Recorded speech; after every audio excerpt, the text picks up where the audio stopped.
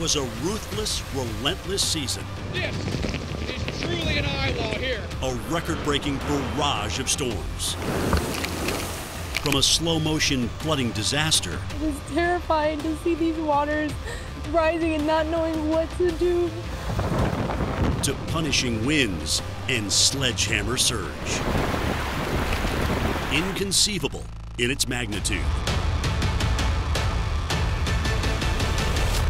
Hurricanes 2017, cruel and unusual. Unimaginable, unforgiving, unprecedented, and yes, cruel and unusual. Hello, I'm meteorologist Jim Cantore. It was the most active hurricane season since 2005. And for the first time on record, three Cat 4s in the same year slamming into the U.S. 17 named storms. It just didn't up to have this many major hurricanes, this many huge impacts on the country. It was un- unbelievable one of, if not the most destructive and costly seasons, with damage estimates near $200 billion. Most of the damage came from three monsters. The first, Category 4 Harvey. It made landfall in Rockport, Texas on August 25th. The first Cat 3 or higher U.S. hit since Wilma in 2005. But that was soon dwarfed by what happened in Houston dire rainfall predictions came true. The aerial extent of the multiple feet of rainfall has changed the game in terms of what the benchmark is for a truly rain-making, disastrous tropical storm or hurricane. Now it seems to have become commonplace for us to talk about how many feet of rain is the hurricane going to produce, not just how many inches. Houston is a very flat city on a coastal plain, and the clay underneath the city doesn't allow the water to percolate through it. But mostly, it's because they've paved it all over. This is a monstrous city that has grown and grown and grown. The water can't go into the ground, and it has to run off to somewhere else. This catastrophic flooding event was not limited to just Houston. Beaumont, Port Arthur, and Orange, Texas were also inundated. The National Weather Service tweeted, This event is unprecedented and all impacts are unknown beyond anything experienced. Then came Irma. It made landfall as a Category 5 in Barbuda on September 6th, leaving the island completely uninhabited. Then moving on to the Virgin Islands and passing just north of Puerto Rico before taking aim at Florida. What we're dealing with in South Florida this morning Hurricane Irma. Winds right now are running 40 to 50 miles an hour, gusts 60 to 70 miles an hour. Hurricane Irma was a Category 5 hurricane that had, on estimates, 185 mile per hour winds for a record 37 hours. The Keys took the brunt of what Irma dished out in the continental United States. Those trees were bent sideways and it was just coming down, just nonstop relentless. Not one inch of the Florida peninsula was unaffected. Then came Maria, doubling its wind speed in just 24 hours to become another Category 5. You can see what's coming, you know, from our end, and we can do our best to communicate, but we can do nothing to prevent the situation. It hit Dominica as a Category 5, then made a beeline for the Virgin Islands in Puerto Rico, making landfall as a strong Cat 4 on September 20th. This stuff's coming off the roof. All of Puerto Rico lost electricity, and roughly a million people were without water. The mountain they're climbing is huge, but I, I haven't met one person that didn't feel that they were going to reach that peak and go even higher. And that, that's amazing. Truly an amazing season. We endured every conceivable force that a hurricane can dish out. Saltwater flooding from storm surge, we saw that. The inland flooding from heavy rains, we definitely saw that. We absolutely saw just how damaging and deadly the winds of major hurricanes, including Cat 5s, can be when they make a direct hit. Hurricane Harvey will always be synonymous with Houston, dumping up to 52 inches of rain in the metro area and more than 60 inches not that far away. That's the most rainfall from any single storm in U.S. history. Harvey inundated up to 40,000 homes and left the area flooded with both water and tears. It's just tragic. It's so sad. I mean, my folks have lived here for 25, 30 years. With the help of a neighbor, Rick Roberts went by boat to see firsthand what was left of his parents' home and found this. His parents had left everything behind. Water's never come within uh, 100 yards of this house and started rising so fast that it, it really became uh, a get out now type situation. They only had minutes to leave. Freshly baked biscuits left buttered on the stove. They were evacuated to the south side of the bayou and they're not going to be moving back for quite a while. Knee deep in water, a heartbreaking experience. See what we can salvage. Really just things that have emotional value like old Bibles, maybe some jewelry. For many, like Maika Laverne, their first visits back were for a different type of treasure. We're going to go try to save my cat Angel. When I left, I never knew none of this was going to happen. This is not a flood area. They released the water over here. Kitty, kitty, kitty, kitty. Maybe when the water came in, um, maybe it pushed my closet door open, so she's up high on my closet. So that's just the only thing that I'm hoping for. You found her? No, ma'am. No, ma'am. I'm hoping it got out as the water began to rise. Cat's pretty resourceful that way, but uh, I didn't find anything inside. I lost everything. Everything's in there. Everything. I don't have anything. Amazingly, Angel was found safe the next day, and she and Maika moved to a new home. It's a different story for Rick Roberts' parents. Staying forever. This is just a once in a lifetime event. There are a lot of memories in here, so uh, I'm, I'm glad I was able to come in here on their behalf so that they didn't have to. This was ground zero for Hurricane Irma, blasting the Florida Keys just 16 days after Harvey. Cudjoe Key and right here in Big Pine Key bore the brunt, enduring devastating storm surge and leaving lives in limbo. Home is said to be the starting place of love, hope, and dreams. But for some, those dreams were shattered by a horrific house call. Everything that we've worked so hard for is gone and destroyed. Sandra Suarez and Stephen Valero had high hopes for the home they rented with their five young children. You know, we got satellite imagery. We're like, oh, it couldn't be too bad. You know, the roof's there, everything's together, looks pretty good. But when you get here, it's just unbelievable, man. So, you guys, this is my house. You just go numb.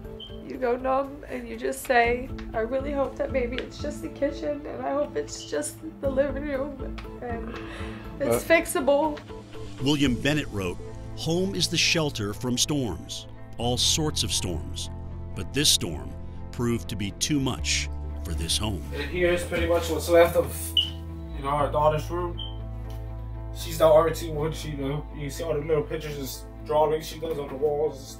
You know, we usually always have her friends come over. Everybody always comes here to hang out, and now we don't got nowhere for it. You know, our boys' room, we just refinished the whole entire room. You know, trying to make it look nice. All this devastation coming at a time when the couple thought they were finally seeing their hard work pay off. I mean, man, we've been here four years. It's been a long time. It's pretty tough to see everything like this. We have five little kids and nowhere to go now. So hopefully somebody can help us. I mean, everything in our entire house is destroyed. Everything. Irma destroyed almost 700 homes and businesses in the Florida Keys. Coming up, a mind boggling look at the 20 trillion gallons of water from Harvey. And later, the psyche after the storm. One of my regulars walked in and grabbed me and started hugging me and crying and said, I lost it all. Said, "Well, What do you say? What do you say? There's, there's nothing to say. You know, the, the sad part went, came early. Why us? We got over that quickly. Tough times don't last. Tough people do.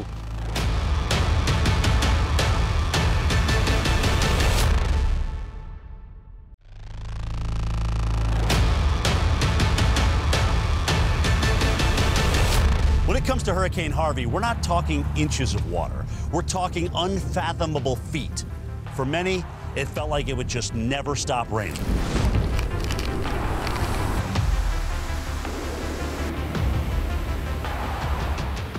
And when it finally ended, the widespread flooding was beyond imagination. Houses, or worse, their roofs became islands. About 50,000 had to be rescued.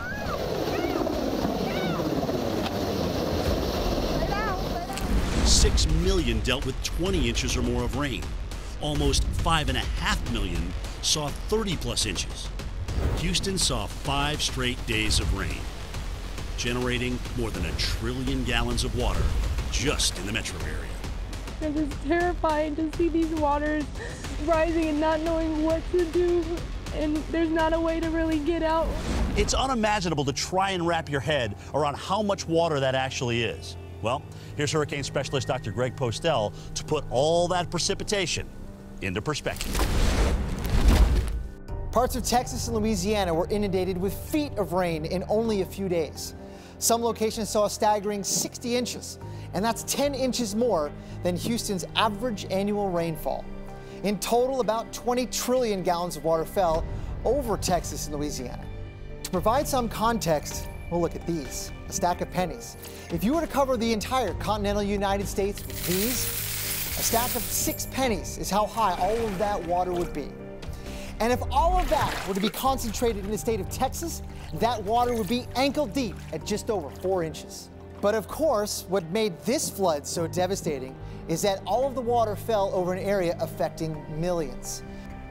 Houston is the fourth most populated city in the U.S., and if all that water fell as one giant raindrop, that sphere of water would measure three and a quarter miles across. But perhaps the most mind-boggling way to think about 20 trillion gallons is a running faucet. Just how long do you think it would take to empty out this giant raindrop? Try 19 million years.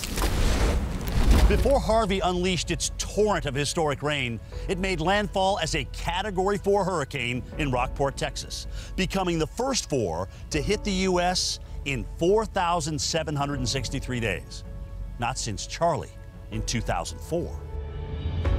I was in hard hit Rockport and Port Aransas and witnessed extensive damage firsthand, places quickly overshadowed by the catastrophic flooding in Houston. Next, we have Amelia Franklin.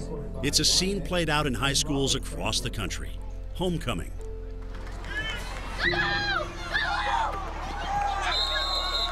But for Rockport Fulton High School, this is different. We still have challenges that we face, and we still have kids that are struggling every day. It's really nice to be able to come together like this and to just to celebrate being here, being all together here. The high school was severely damaged, as were many of the students' homes. It was heartbreaking driving through town, seeing all of the concrete slabs where the buildings used to be. It's not really home, but it's home. But homecoming seems to have an ability to heal. This is pretty much as normal as it can get on on a Friday in Texas. Football, having people in the stands, homecoming, I mean, it's just great.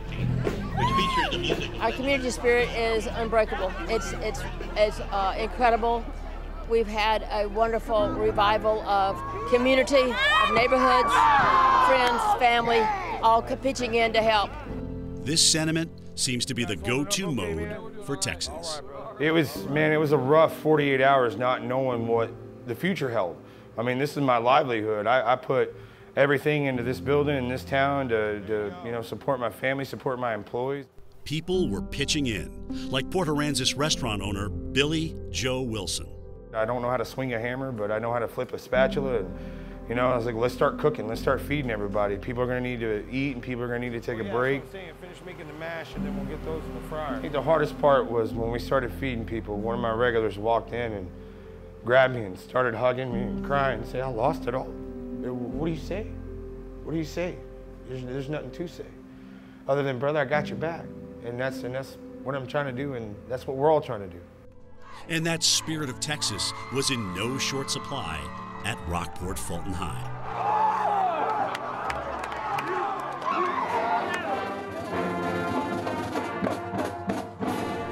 We have, we've had a bunch of ups and downs, you know, a bunch of them.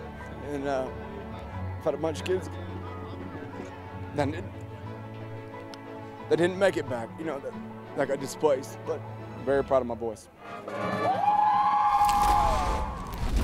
It's estimated that 35% of Rockport was destroyed, and about 75% of the homes in Port Aransas were damaged or destroyed. When we come back, how Hurricane Maria left Puerto Rico powerless.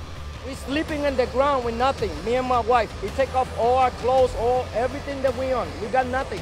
And later, the powerless feeling after Irma's intrusion. They use the term overwhelming, but uh, it, it really is. You just got to go forward with it. You just got to make it happen. If this avenue doesn't work, take another turn.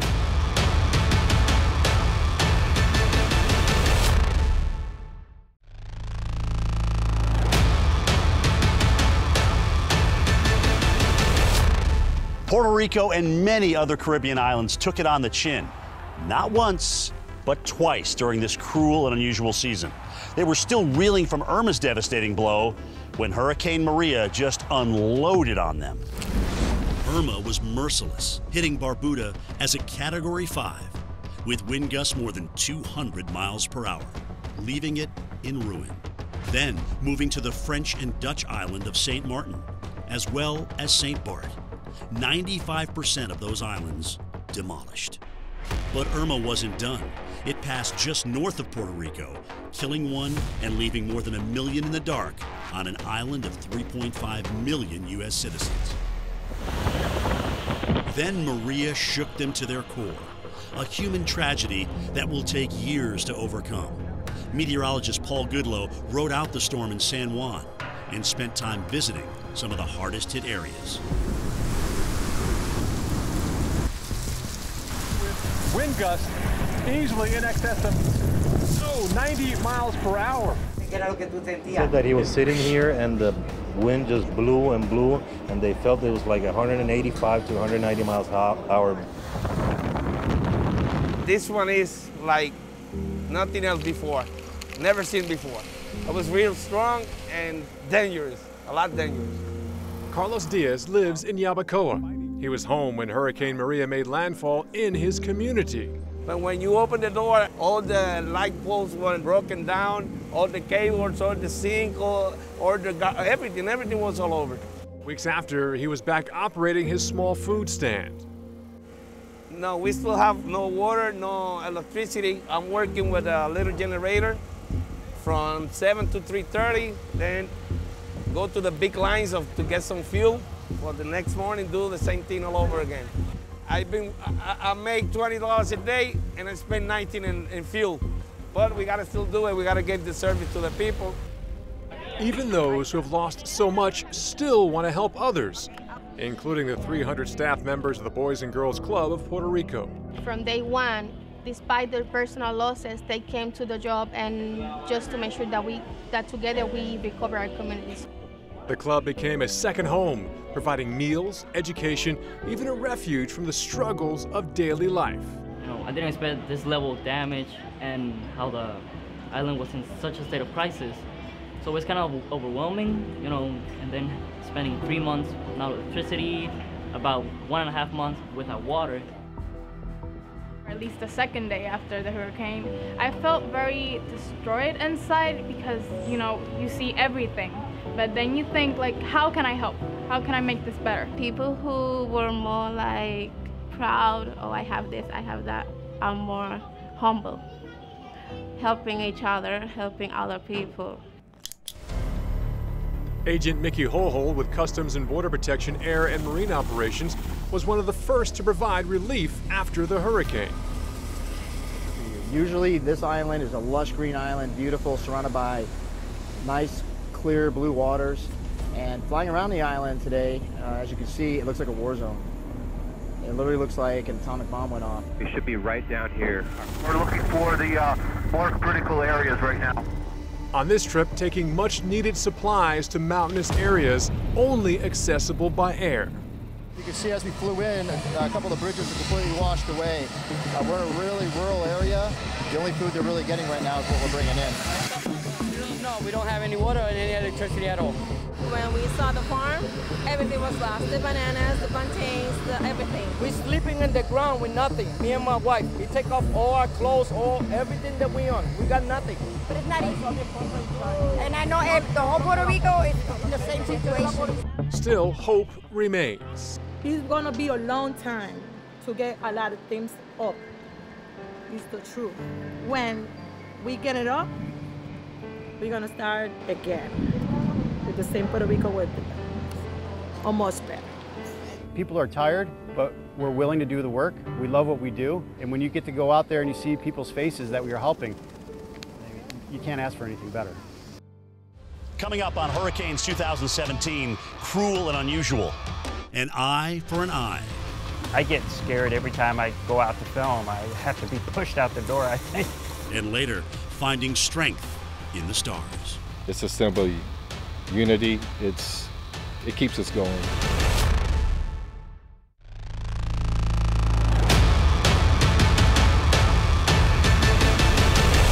Welcome back. It was a hyperactive season, the most major hurricanes since 2005, and incredibly 10 straight named storms that all became hurricanes. Undoubtedly, 2017 goes down in the record books as one of the most destructive seasons of all time. Destructive and deadly. Six Category 3 or higher hurricanes. We haven't seen this many since 2005, including Cat 4 Harvey. You know, when you look at how many homes flooded in Texas because of Harvey, how much Harvey will cost. That much water caused the city to sink almost an inch, according to the National Weather Service. Right on its heels, Irma.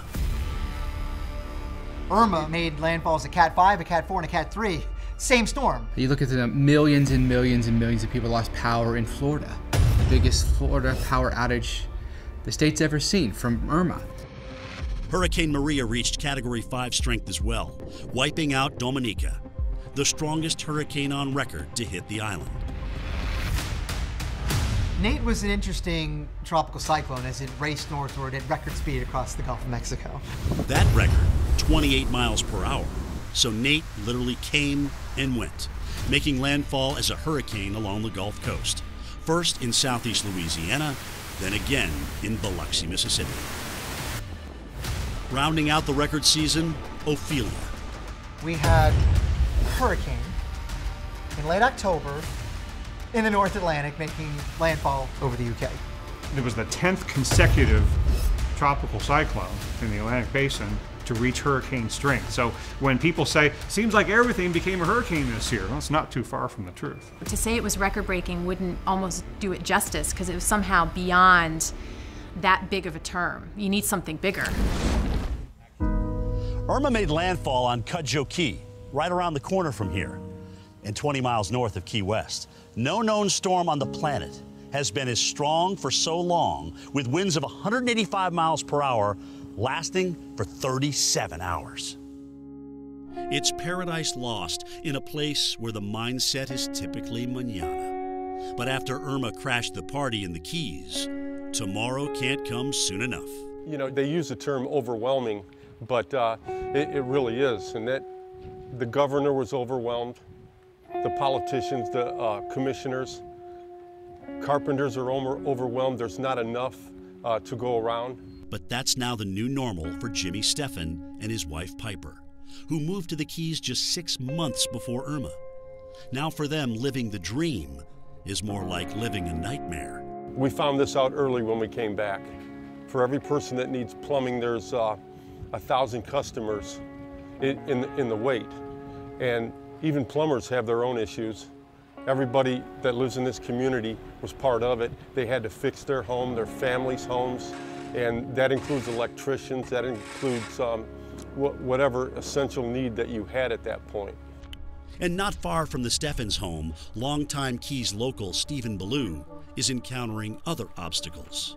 I don't even have an address. The, the, the post office got blown away. There's none of that UPS where they deliver your stuff to. I need to get boxes to ship, or not ship, but to box up my belongings that survived. As you see, we've gone to the uh, forced remodeling of, of uh, the open floor plan. The living arrangements it's glorified camping, if you will. We like to think that um, we're camping out with a $150 a day view. we don't have it that bad. Some have it better, some have it worse. Everything is a logistical problem, or how do you do that?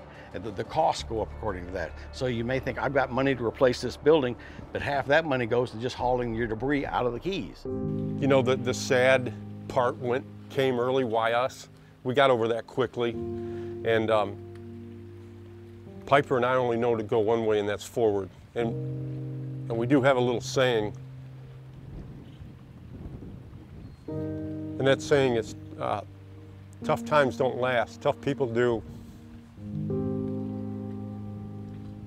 And then the emotion went to, it's time to fix this because nobody's going to come and save you. You just got to go forward with it. You just got to make it happen. If this avenue doesn't work, take another turn, try that avenue. Just keep going down that path. So for now, this is the path to get back to normal. Frustrating, tedious, costly, but in the end, worth it. It's amazing. It, it, you love it. I mean, every night I'll take pictures every night of the sunsets. I take pictures of the sunrise every morning. It's beautiful. It's just going to take a long time to get back to the, the magic of Key West. They call themselves extreme photographers, capturing weather at its worst, in the worst of it. Veteran storm trackers Jim Edds and Mike Theiss share their incredible footage and unforgettable experiences from this remarkable season. This hurricane season was unlike any other hurricane season I've been in. Three Cat 4s, every one of them treacherous. Texas at Cat 4, Harvey, that was really scary because there was no safe place in Rockport, Texas. You were 10 feet above sea level, so the water was going to get you or the wind was going to get you. There was a certain snap to the wind. Hurricane Irma, we had over 120 mile an hour winds at our location. We witnessed these wind gusts coming off the water unobstructed and just plowing into the tropical palm trees and the buildings down in the lower keys. And on top of that, we had storm surge that affected both coastlines and it was just a major disaster down here. In Irma, one thing that we focused on was getting right on the coastline to get those winds coming directly off the water. And there's an area in Key West where the palm trees, this beautiful row of palm trees, was just getting blasted by winds over 100 miles per hour and just shredding the palm trees piece by piece.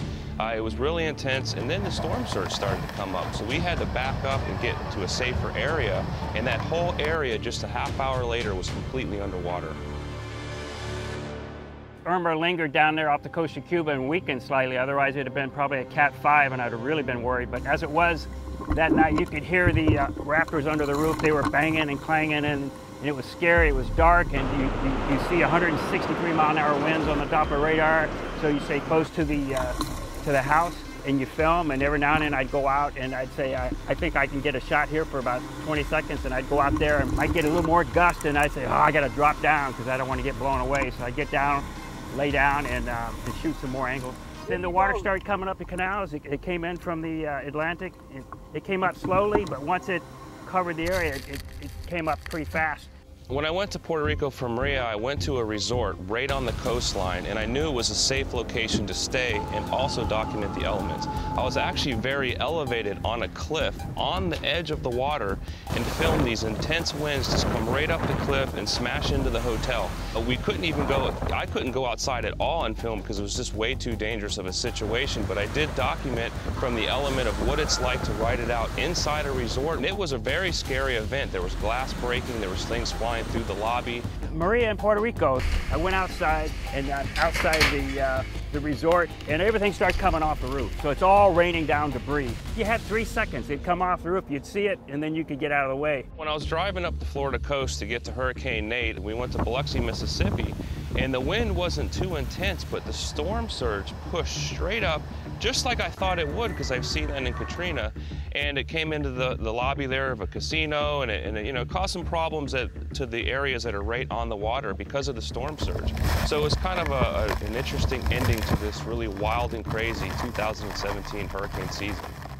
I get scared every time I go out to film. I have to be pushed out the door, I think. Uh, either film hurricanes or go back to the boring day job, so I'm going to stick with hurricanes.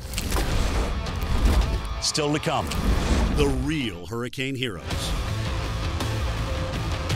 and a look behind the curtain at how we cover hurricanes. Go ahead and frame up. Stand by. All right, all right, how's that? One, two, three, four, five. Just trying to stand in that and the force of that wind. Being about the longest 15 minutes of my life.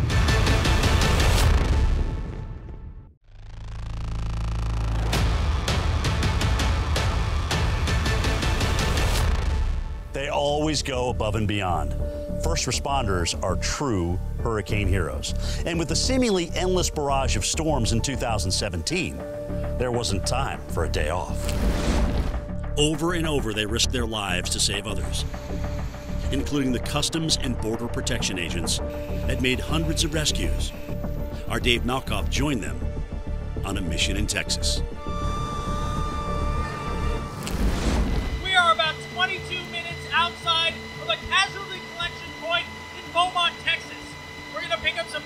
This basket aboard a Black Hawk helicopter run by the U.S. Customs Support and Border Protection Air and Marine Operations who desperately need our help. They've been on the, the roofs, that they've been stranded for so long. Below us, the water is rising, flooding homes, entire neighborhoods, really, in Port Arthur, Texas, 91 miles east of Houston.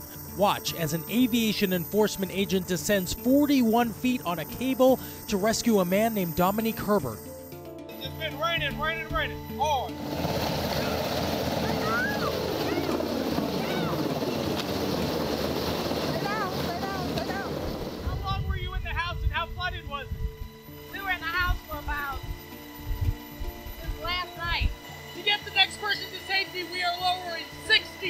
63 feet of cable down to the roofs below us. There's barely any room in the Blackhawk anymore. Some of our crew actually have to sit in the basket for the ride back. Are there more people down there? Yes, four more. There's more elderly down there. His grandfather, great uncle, and others.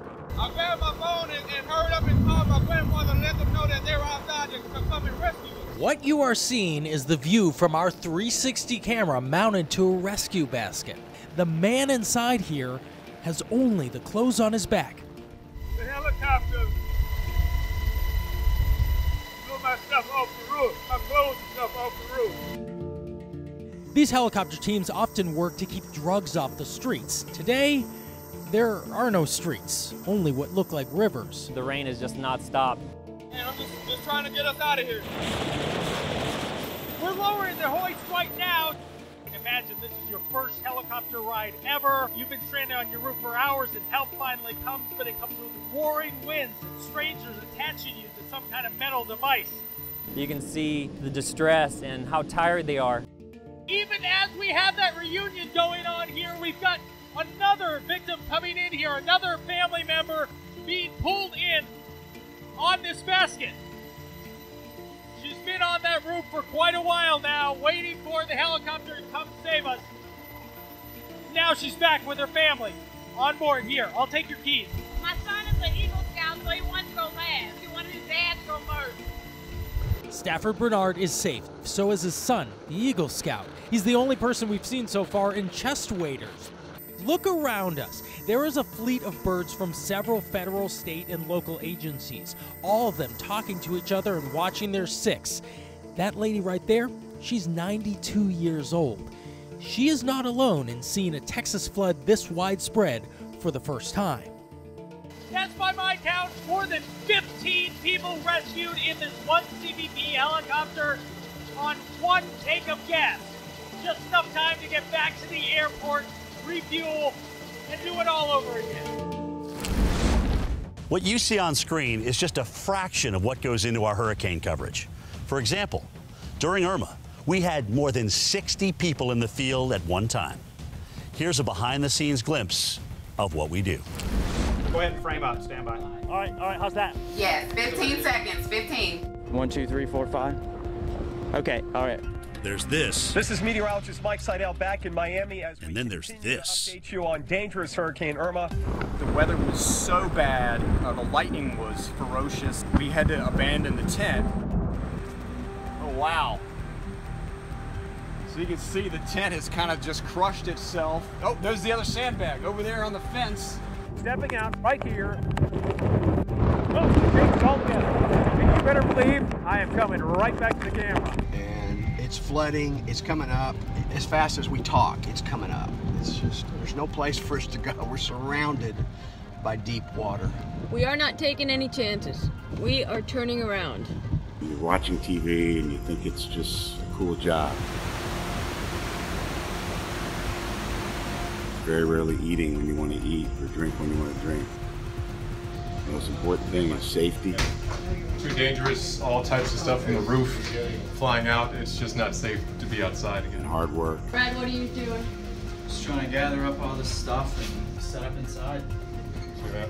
Too much debris. If I can reach behind your Brad and grab my helmet. Again, we, we all had our helmets on to protect us, but you know, it's also just uh, making a smart judgment call when you have stuff flying off the roof. I'm with you, man.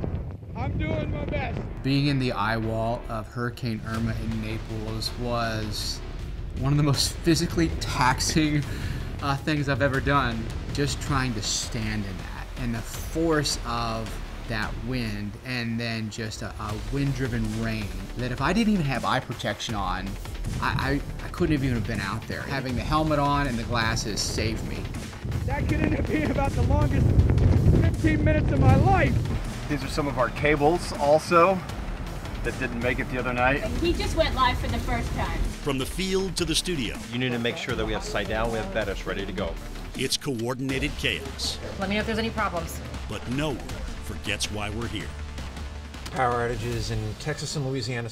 When you're covering something as devastating as this, you're here and you're working and you're doing your job and you're thinking about all these people. What you're going through, is it close to what the people here in this tragedy are going through? And uh, we really think about these people a lot. Keep the faith, babe. God bless. God bless you. Always a wild ride in the field during hurricanes. When we come back, how much is climate change contributing to these supersized storms? To deny that there may be some connections is irresponsible. How many people are going to be on the front lines next time? How many lives lost? How many billions of dollars are we going to have to pay before we realize that we need to be proactive?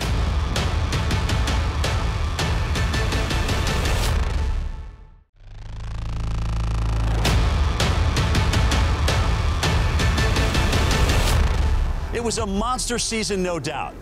And it's no secret that our oceans are warming and our sea levels are rising. But what role is this changing climate having on hurricanes?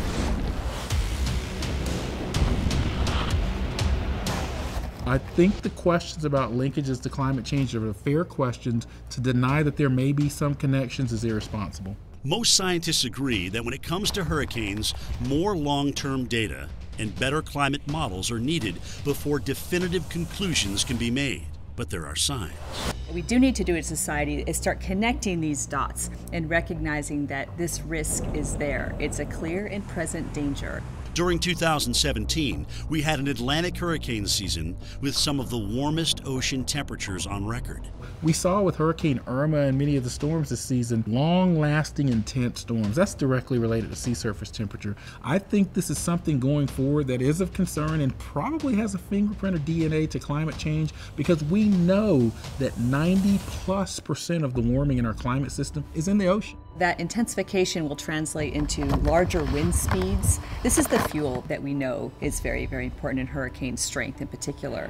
And it's not just intensity tied to warming. One of the things we project with warmer oceans and a warmer atmosphere right over those oceans, this atmosphere can literally hold more water vapor. And so, for any given precipitation event like Harvey, one that stalls and slows down, it's basically supercharging itself. In fact, a study by renowned hurricane expert and climate scientist Kerry Emanuel found that the likelihood of a Harvey like rain event has increased sixfold since the late 20th century. Then add in rising seas. Near Galveston, for example, water is rising more than two inches every decade. We know for a fact that sea level is rising, and in recent years it's rising faster.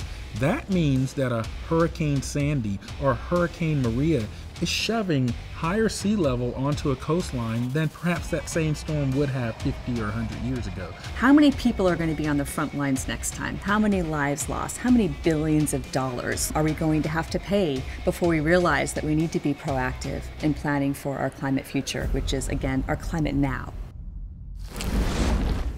They symbolize vigilance, perseverance, and strength.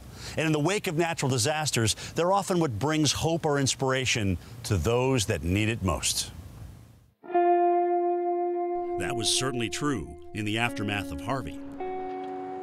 It's a symbol of strength. It's a symbol of unity. It's it keeps us going. We love our flag. We we love the country and we love our neighbors. The day after Harvey made landfall, we're surveying the damage to the high school area there in Rockport. Completely demolished, cinder blocks and all. To see the campus demolished, wind and water damage inside, I look down on the ground and I see an American flag. I, I can't leave this here. It's still raining, there's debris all around it. The school, yeah, it's battered, so is the flag, but we've got to fold this up. Make sure this isn't a casualty to Hurricane Harvey. And all of a sudden, I'm thinking to myself, well, do I kind of fold it up in like a rectangle? And I'm like, no, no, no. It just came to me years ago. I was a Boy Scout, and I remembered you got to fold it in triangles. Even though I could see that the flag was kind of torn and tattered, we folded it up. Not the perfect fold, but definitely a, a rescue from Hurricane Harvey here in Rockport. On the same day, the school raised a new flag. We made a special delivery. I want to present this to you on behalf of the Weather Channel. Everything we do is for this, to see you guys recover. And I wanted this to be a sign of Rockport Fulton High School rising after Hurricane Harvey. Pirate strong. Pirate strong, Paul. We do thank you for coming and protecting and saving our flag.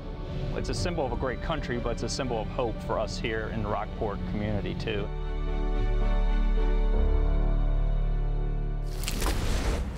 As we say goodbye, we say good riddance to the incredibly cruel and unusual 2017 hurricane season. Here's hoping we don't see another one like this anytime soon. I'm meteorologist Jim Cantore. Thanks for watching.